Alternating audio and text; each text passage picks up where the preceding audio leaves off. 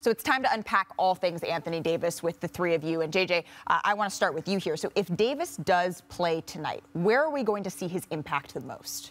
Dave mentioned it. The biggest impact is defensively. Lakers had a two back-to-back top five defenses. They were number nine before Anthony Davis got hurt this year. Mm. They've slid all the way to 19th. The biggest question mark to me is can he start to make jumpers? Can he recapture that magic that he had in the bubble when he made 38% three uh, during the playoff run? He's been one of the least efficient jump shooters in the league this season. So that, that's the bigger question mark to me. But the impact is for sure on the defensive end. Absolutely. I mean, they were the number three ranked defense, I believe, uh, Perk, when they were able to win a championship. Mm-hmm.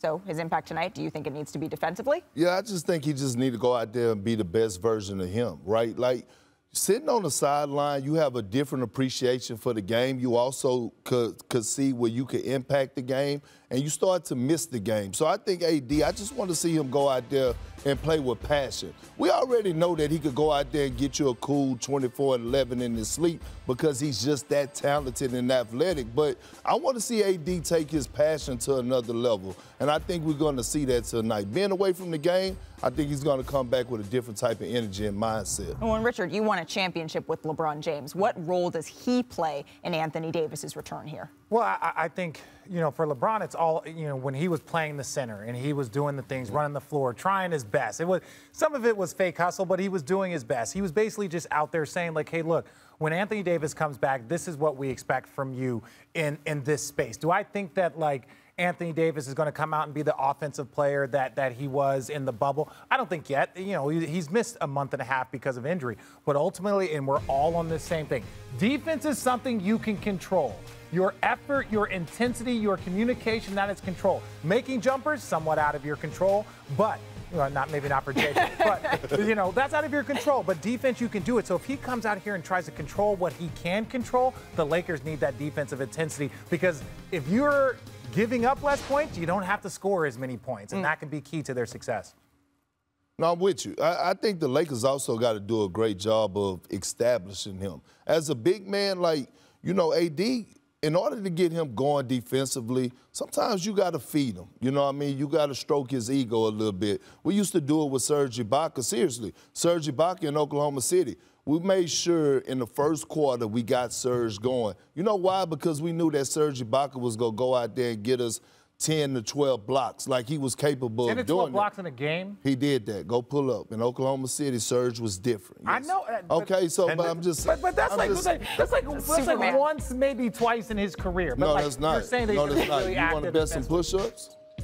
Oh, the push-ups. You want to bet some push-ups? yeah, yeah. But see, look, here's the thing too. Bron, I, I heard him in his post-game interview talking about how he's in the zone right now. He's mm. not changing anything. I understand that. But he's going to have to change up a little bit and kind of stroke AD because for the simple fact that if you don't change up and you don't get the best version of Anthony Davis, you're not going to do nothing. Mm, well, speaking of energy players, we've spent so much time on this show talking about Russell Westbrook, and there's a great piece by Ramona Shelburne that's up on ESPN.com just about how he sort of ebbs and flows, and maybe more so than anyone else, feeds off the energy of the Lakers and the players around him. So, JJ, what does AD's return, how does that impact Russ specifically? I wish there was a good answer for this. Welcome, Daniel. I wish there was a good answer There's for this. Not. Look, I, have been saying this all season.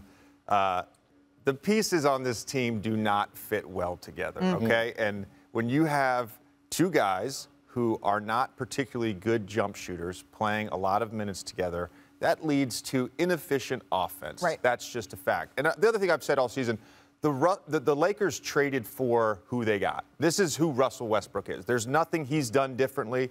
Uh, you know, there's the, the viral clip the other day of him shooting off the side of the backboard. That's his spot. He's above league average from that spot. This is who he is as a player. And, it's, and it's, who, it's who he's always been. But I will say this Anthony Davis's percentage from three dropping right? That's one of those things that affects Russell. And I think some some of that could be Russell because teams are like, we're going to stay attached. Right. We're going to stay attached to, to Anthony Davis. We're not going to give him the space because we're okay with Russ going downhill. It was one of the reasons why when I when I was in Dallas and Dirk and Rondo, everybody remembers that trade where Rondo didn't fit. Dirk really struggled with Rondo because Dirk was used to Steve Nash. He was used to Jason Terry. He was used to these guards that can score. So when they would start to score, or you would give help, Dirk would get the spot. They would just stay attached to Dirk, let Rondo go, so it didn't it didn't flow as well together. And I think Anthony Davis's shooting struggles could have a small bit to do with Russ because he's not getting that space because people are allowing Russ to do what they want. Yeah, I'm just trying to figure out why can't the high pick and roll work with Russell and Anthony Davis? You know, like it, it did. Like we saw a sample size with Russ and LeBron James, and it worked perfectly fine. Well, LeBron was setting the screen, rolling, and Russ was hitting them. He was getting layups or dunks. Why can't that happen with Russell Westbrook and Anthony Davis? Is beyond me. Like, Well, uh, to, to your point, Perk, I think that's a great question. But how much of AD as the screener is he as a roller?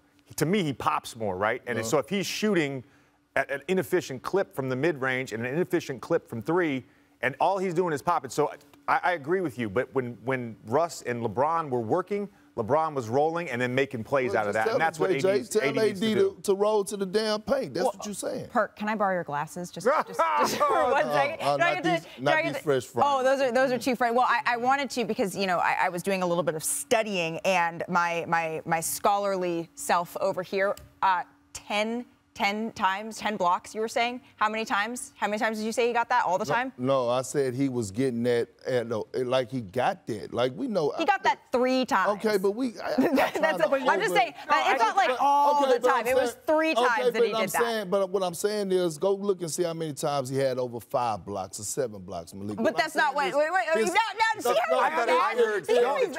12 I per said 10 to game. 12 no, per no, game. I did about not it, say, ten I per did game. not say per game. I did not say Serge Ibaka was getting 10 to 12. Um, all right, we're going to need that game. clip. We're going to need to run it back.